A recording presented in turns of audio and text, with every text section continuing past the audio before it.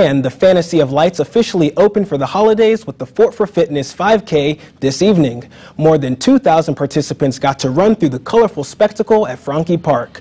The course is illuminated by more than 100 large light displays. The runners were given a long sleeve t-shirt and hot chocolate after the race. A 2K walk will be held tomorrow night, and participants in both races also receive an ornament for the finish line.